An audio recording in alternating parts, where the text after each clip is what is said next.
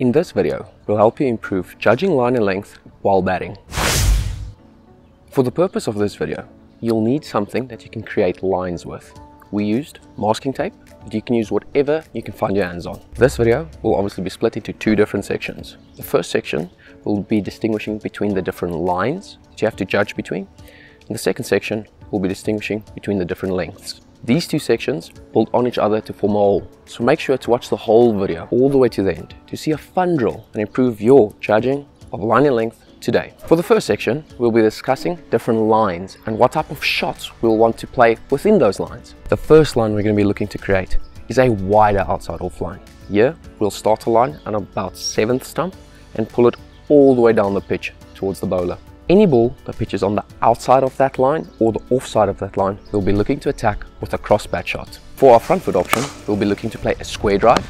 If the ball's shorter, we're going to look to pounce on the back foot and play a cut shot. For both of these shots, we want to make sure to get our head towards the line of the ball.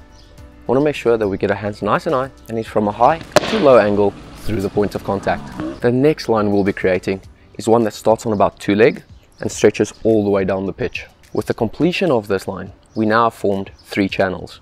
The wider one, which you already covered, a straighter channel, and a leg side channel. For the middle channel, we'll be looking at our straight bat shots. Here, we're again going to split it into front foot and back foot options. Our front foot option will be a cover drive if it's slightly wider in the channel, a straight drive if it's straighter at you, and then if it bounces a little bit shorter but still a front foot shot, we're going to look for a solid front foot defense. The front foot defense only kicks in when we can't attack. Since we have mentioned defense, we're going to stick to it and move on to our back foot shots. So when the ball's slightly shorter and we have to move back, we're going to start off with a back foot defense when the ball's nice and straight at us. And as the ball moves wider and we have some freedom for hands to explore and go through the line of the ball, we're going to look at a nice explosive back foot punch. Since we are talking about judgment, at this point of the video, we'd like to ask you to use that increased judgment, to hit the like button below it would mean the world to us. The final channel we're going to be covering in this section is our furthest leg side channel. Here we'll be looking to again play with a nice straight bat, specifically on our front foot options. The only difference is our bat will be going through at more of a mid-on angle than straight back at the bowler.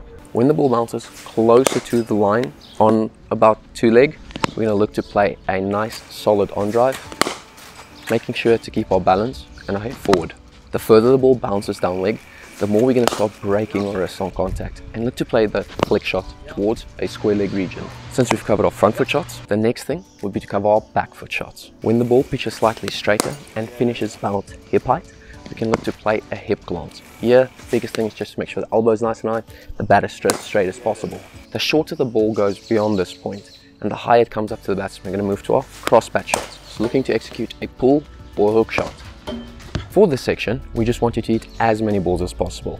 Work on each channel, hit enough until you feel comfortable to move on to section number two. Now that we've covered all the shots we need, we can create our final line. And with the creation and completion of this line, we'll move on to section two. In this section, we'll be covering judging length, as well as a fun drill that you all can go do in your next session.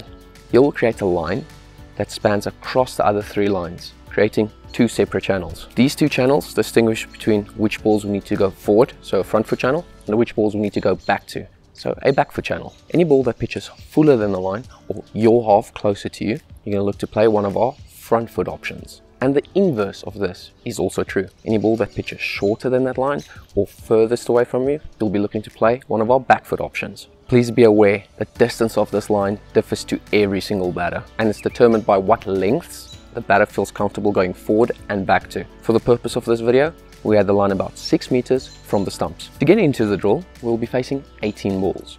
The purpose of this drill is for you to play the correct shot 18 times out of 18 depending on where the ball pitches.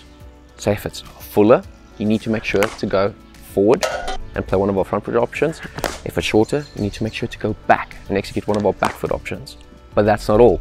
We also have our three channels. So depending on where it pitches line-wise, you also need to decide between our square drives, straight drives, yeah. on drives, flicks, cuts, pulls, backfoot punches.